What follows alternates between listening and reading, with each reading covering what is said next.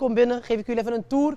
We willen toch wel het gevoel geven dat uh, iedereen welkom is. Ook om een kopje koffie te drinken natuurlijk. En gewoon hier uh, gezellig en keihard kan trainen. Adam is trots op deze nieuwe sportschool die hij samen met zijn moeder opent. Het is alleen voor vrouwen, want daar is behoefte aan.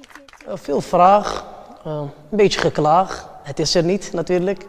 Dus, en daarop ga je anticiperen natuurlijk, want je denkt van oké, okay, wat is er niet, wat hebben we niet in de wijk? Kijk, we hebben een basic fit, we hebben een fit for free, maar een ladies only gym, dat miste echt. Jemna, de moeder van Adam, geeft al 15 jaar sportlessen aan vrouwen in de wijk.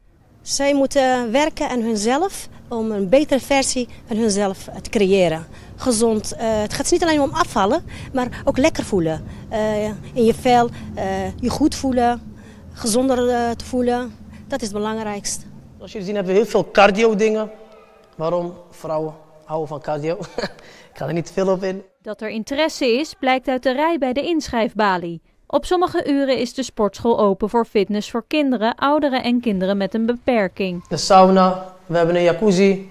Dit is uh, toch wel het nagenieten. Dit is toch wel het stukje waar iedereen stiekem wel het meest naar uitkijkt. Naast deze nieuwe sportlocatie is er nog een droom die binnenkort uitkomt. Voor lessen die Adam nu nog in het buurthuis geeft, heeft hij een nieuwe locatie op het oog. Uh, gaan we naar een uh, grotere pand, uh, waar alle sporten onder één dak zullen vallen.